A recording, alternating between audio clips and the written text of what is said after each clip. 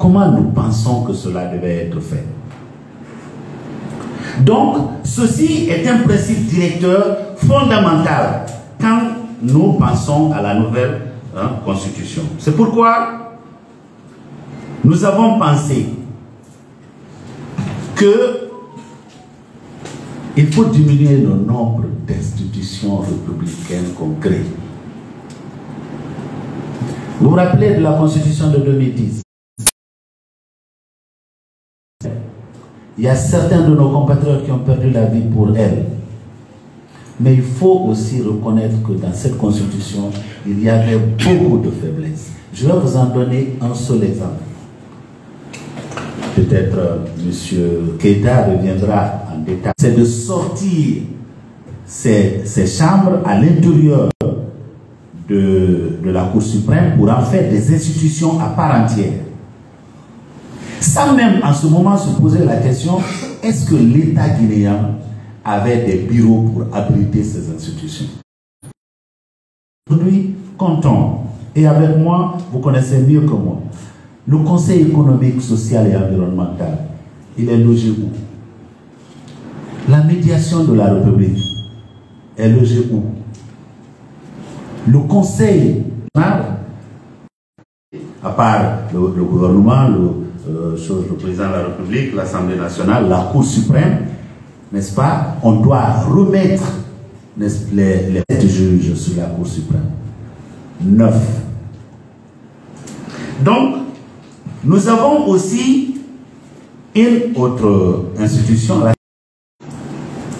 C'est une nouvelle euh, institution euh, républicaine que nous créons, le Conseil national des collectivités, une institution, le Conseil économique. La même chose euh, que nous pensons euh, du Haut Commissariat, n'est-ce pas, des droits de l'homme comme institution.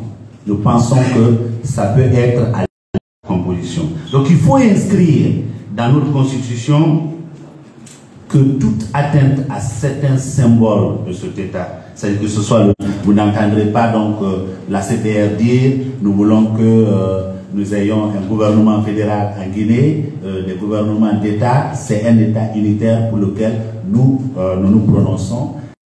Le président de la République a tellement de pouvoir qu'on peut même mettre les pouvoirs du président guinéen au-dessus d'un pouvoir. Mars 1984, à peine il a été enterré le 3 avril, l'armée a pris le pouvoir pour redresser la Guinée. C'était le comité militaire de redressement national. 24 ans après, la Guinée a-t-elle été redressée? Faisons des comparaisons. En 2008, paix à son âme, que un autre groupe de militaires a pris le pouvoir. Cette fois-ci, on nous a les élections à la base, c'est secondaire. Dès que vous allez avoir le président, il sera un enfant de cœur, il fera le reste. On se rappelle que pour avoir les élections législatives après l'élection du, de, professeur Alpha Condé, nous avons compté des dizaines de morts lors des manifestations. Intervenu. Mais on va se poser la question, dans les deux premiers cas, c'est quand il y a eu vide du pouvoir, c'est-à-dire quand le président est mort. Nous sommes des, des mortels, vous et moi. Et donc le président, quel que soit l'amour qu'on peut avoir pour un président qu'on va élire en Guinée, il est aussi mortel. Ça veut dire que Dieu seul sait le jour qu'il va l'appeler. À supposer que notre président fasse les élections. Et si celui qu'on va avoir 90 jours après meurt terrible, si le président n'est plus là, le vice-président assume les pleins pouvoirs. Et le lendemain, la Guinée continue de marcher. Pour connaître si on a président, parce que celui euh, qui est le dauphin constitutionnel, il n'est là que comme intérimaire. Donc nous avons dit, il faut qu'il y ait un vice-président. Et ce sont les raisons. Et donc, euh, ayant le vice-président, on n'a pas besoin de premier ministre dans notre pays. Je ne sais pas, euh, après le passage du gouvernement de la Turquie, dont l'économie est dix fois l'économie guinéenne. Ils sont au nombre. Le gouvernement aussi, toujours entre 35, 36, 37 ministres. Et le professeur avait créé une autre innovation, un gouvernement bis, c'est-à-dire le conseiller avec rang de ministre, avec euh, voiture de fonction VA, avec euh, des, carburants qui devaient être donnés. Et cela a empêché effectivement que nos jeunes nièces qui devaient se rendre dans un centre, n'est-ce pas, d'examen, de, hein, euh, ne puissent faire leur examen chez eux, chez elles. Ils ont perdu la vie. Il y a beaucoup d'écoles qui auraient pu être construites avec cet argent. C'est pourquoi la CPR prône une structure préétablie qui soit consacrée par une loi organique de 19 membres. On n'a pas besoin de 30 ministres en Guinée, de 40 ministres en Guinée. On n'en a pas besoin. Il faut qu'on se départisse de la croyance que si nous voulons nous attaquer aux besoins des femmes, qu'il faille créer un ministère des femmes.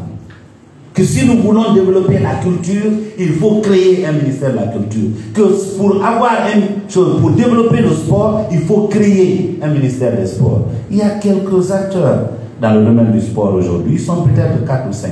Ce qu'ils font, c'est plus que ce que l'État fait à travers son ministère. Donc, ce n'est pas parce que euh, on a un gouvernement étalé avec 40 membres qu'on fait le travail du peuple. L'efficacité veut qu'avec moins de ressources, on fasse beaucoup. C'est pourquoi 19. Et pour arrêter le pouvoir trop débordant du président, nous avons dit qu'il faut distinguer les fonctions à caractère politique des fonctions à caractère technique. Un directeur préfectoral de l'éducation, un directeur préfectoral de la santé, un directeur préfectoral de l'urbanisme, c'est un, un poste technique. On peut donc demander à tous ceux qui sont spécialistes de l'éducation, spécialistes de l'urbanisme, spécialistes de la santé, de faire leur, leur CV, aller se faire recruter. Au lieu de nommer tout par décret. Le président ne va plus simplement sortir un décret et le lendemain, la personne court pour faire la passation de service et le lendemain, le coup de couteau. On la compétence, on